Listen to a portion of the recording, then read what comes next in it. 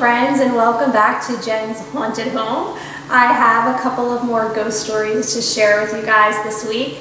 I really hope that you're enjoying what I have shared with you so far. It's really been nice to be able to share it with someone. So today I want to talk about um, a woman that was seen in various different areas of our house.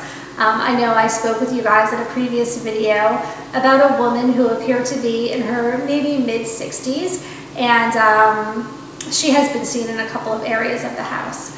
Well, there is also a younger woman who has been seen throughout the house and there were a few different circumstances.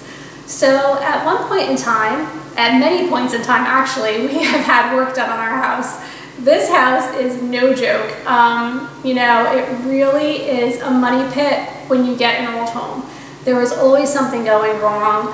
Um, the simplest things become the biggest. You know, you're hanging up a picture and the wall comes down. That's like literally no joke the way it goes with an old home. so we've had many renovations and lots of work done around here. On one particular day, there were a group of men working on our porch and I was in the kitchen, you know, just doing dishes or cooking or whatever it was that I was doing. And one of the men came into the kitchen and said, what was it that you needed? And I was like, I don't know what you're talking about. And he said, we just saw, we thought it was you. We saw a woman standing over on the porch, you know, waiting to like ask a question or to tell us something. And then she disappeared and we just, we thought it was you. She appeared to be about your age and structure and um, I believe they said she was wearing like a robe, like a white robe or something like that. And she had come out and she just kind of was looking at what was going on and stepped away. And I don't know if they really got a good look at her because I think if they did, they would have realized that it was not me. But they did um, get a glimpse of a woman on the porch and it was a couple of people, not just one who said they, they kind of saw a woman standing off to the side. And um, yeah, so that was odd. Um, there was another situation where my son was playing in the backyard and he saw a young woman or girl um, walking through, we have like, we call it the back house. It would have been, I guess, a carriage house back then. And um, the man who purchased the house back in like the late 40s, early 50s, collected cars. He collected um, vintage cars. So it's actually where I'm at right now. I'm in the back house right now and he kind of finished it as a garage and this is the room that I'm currently sitting in is where he stored the cars. Um, since then we made it a, a, finished room so we actually entertain back here. We have our Halloween party primarily back here. We have on this side of the room um, like a big screen for we can set up the projector and watch movies. So um, it's really a nice extra space to have. But my son did see a, a, young girl walking around back here. Many years later, my little daughter Madison said that she saw a woman through the window um, in the back house where I'm currently sitting as well. So um, we're not sure who this woman is. And as I said before, there have been a lot of deaths in this house. And um, I believe some were tragic. Um, you know, we had the situation with the older woman who fell to her death. Um, there was also a girl, I believe it was like in the late 70s, who lived here with her parents. I believe that she passed away from some type of um, a drug overdose.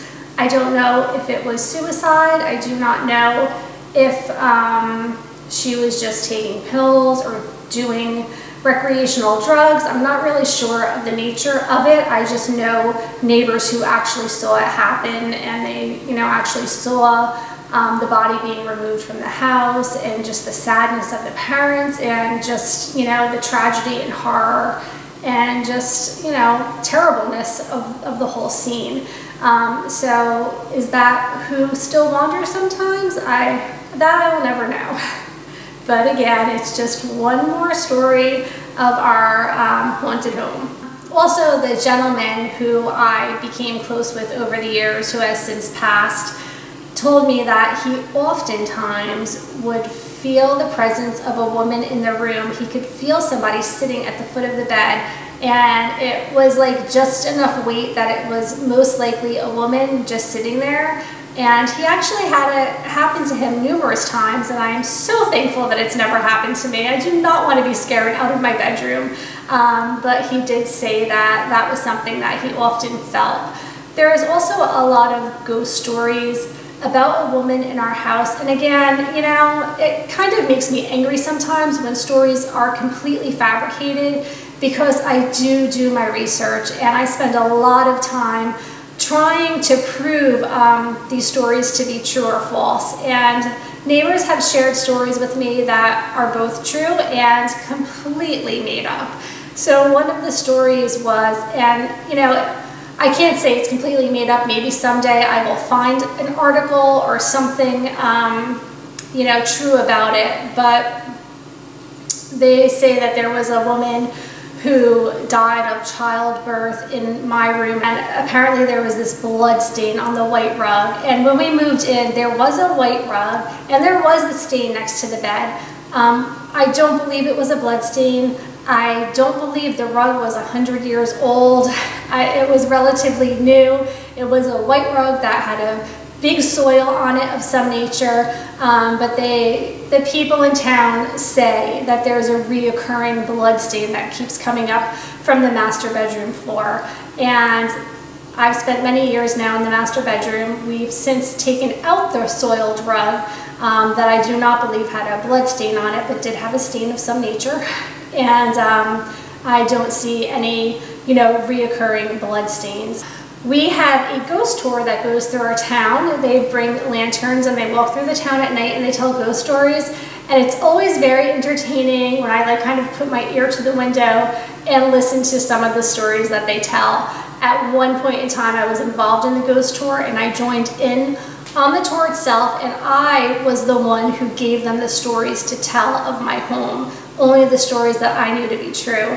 The stories that they're telling today are completely fabricated and that just makes me so angry because I just don't like people lying about what goes on in my home. So, I don't know. I just thought I would share a little venting there, but I thought I'd share that with you as well. I really hope that you guys have been enjoying these stories. I, like I said, I'm having so much fun just sharing them like with everyone. I'm just really putting myself out there. Um, I'm only sharing with you things that I know firsthand myself that I've experienced, that my family's experienced, or that close friends of ours have um, seen for themselves. So it's been a lot of fun to share it with you. Please go ahead and subscribe down below if you haven't done so already. Go ahead and follow me at Jen's Happy Home on Instagram and um, give this video a thumbs up if you liked it. And again, like I say every time, please comment down below if you have any stories to share. I love a good ghost story this time of year. Take care, guys. Bye.